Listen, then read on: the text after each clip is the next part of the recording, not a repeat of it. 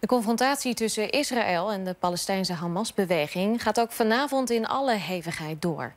Met een paar luchtaanvallen heeft Israël zojuist een groot gebouw in de Gazastrook gebombardeerd. Er is een aantal raketten voor nodig, maar uiteindelijk blijft er weinig meer van over.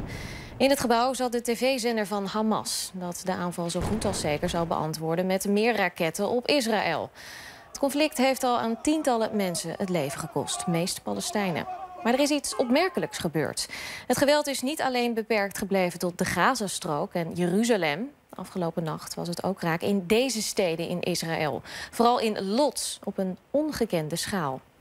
En dat is een groot verschil met eerdere escalaties en maakt de situatie erg onvoorspelbaar. Terwijl de raketten uit Gaza neerkomen in Tel Aviv, broeit er iets wat misschien nog wel veel gevaarlijker is. In allerlei steden in Israël gaat het mis. Het zijn Israëlische Arabieren, Palestijnen dus, die de straat op gaan. En dat moet ik even uitleggen. Zo'n 20% van de inwoners van Israël zijn Arabieren. Ze spreken naast Arabisch Hebreeuws. Ze hebben Israëlische paspoorten. Maar ze voelen zich vaak tweederangs burgers. En die frustratie, die komt nu naar boven. Voor het eerst in lange tijd komt het tot ernstige rellen. Sommige Joodse families zijn gevlucht. Pas deze ochtend kan de schade worden opgemaakt. De synagoge in Lot is volledig uitgebrand. אני יכול להגיד שהיה לנו הלילה ליל בלהות, ממש השתוללות של מאות נערים ערבים, הגיעו בהמוניהם, שרפו פה מכונית אחרי מכונית.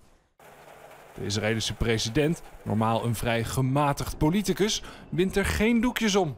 מראה הפוגרום בלוד והפרעות ברחבי ישראל על ידי המון ערבי מוסת, מוסת עד כמעט צמאון דם, שפוגע בחיי אדם, ברכוש, ואף שלח יד בקודשי ישראל, הוא דבר בלתי נסלח. En dat zijn harde woorden. Behalve de confrontaties in Jeruzalem of op de westelijke Jordaanoever zie je nu ook de onrust toenemen in Israël zelf. En dat gaat over de gebeurtenissen van afgelopen week en de bestorming van de Al-Aqsa-moskee. It's a red line, a red line that no one can go there. And this is a mosque. This is one of the most holiest place for the Muslim people. Raketten uit Gaza, daar weet Israël wel raad mee. Daar kan het zich tegen verdedigen. Maar onrust in eigen land, onder de eigen bevolking, dat kan nog wel eens knap lastig worden.